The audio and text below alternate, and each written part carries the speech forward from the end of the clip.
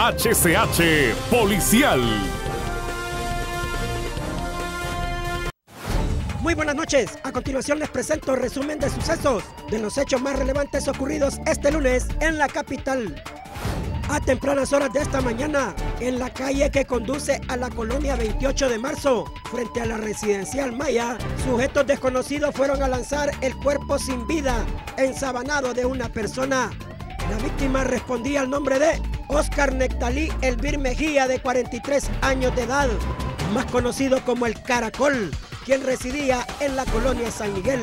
La víctima estaba dentro de una sábana de color blanco y presentaba múltiples heridas de arma de fuego. El cuerpo de la víctima fue reportado a la policía por una persona que a tempranas horas de este día se dirigía hacia su trabajo, donde observó ensabanado a esta persona, donde se desconoce quién o quiénes le quitaron la vida y la casa loca donde fue asesinado.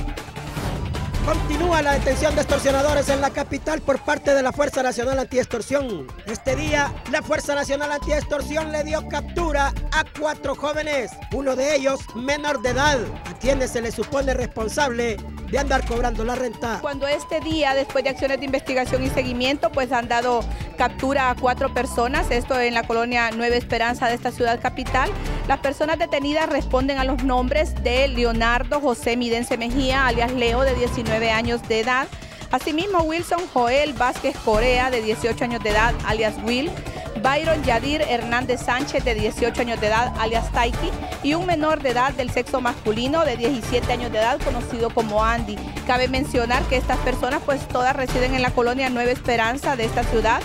Según las investigaciones, pues los detenidos son miembros activos de la pandilla 18, estaban operando en el sector de la colonia Nueva Esperanza, colonia Venezuela, Tiluarque, Flor del Campo y zonas aledañas, extorsionando a diferentes eh, pues comercios eh, dependiendo del rubro, de, vendedores estacionarios, vendedores ambulantes, asimismo mercaditos, pulperías, eh, vendedores de lácteos, entre, entre otros. Ellos analizaban pues qué rubro era para así pues determinar la tarifa que se les iba a dar.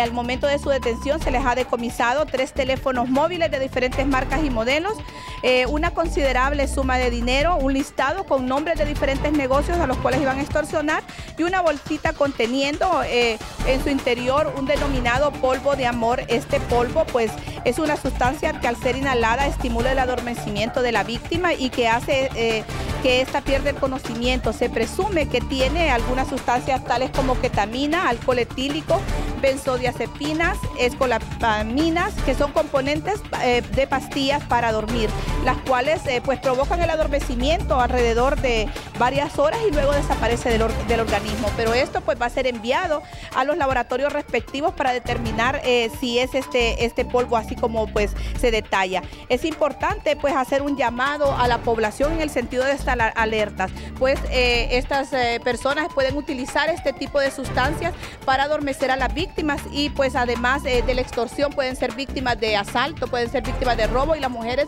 de ataques sexuales. Entonces en ese sentido pues es importante hacer un llamado y estar siempre alertas y sobre todo hacer una denuncia a la línea 143 que es una línea eh, confidencial, es una línea que tiene cobertura a nivel nacional y la puede hacer de cualquier teléfono, ya sea un teléfono móvil o un teléfono fijo. En cuanto a estas personas detenidas, van a ser enviadas a la fiscalía correspondiente por suponer responsables del delito de extorsión en perjuicio de testigos protegidos y el menor va a ser enviado a la fiscalía eh, del menor por la infracción penal de extorsión.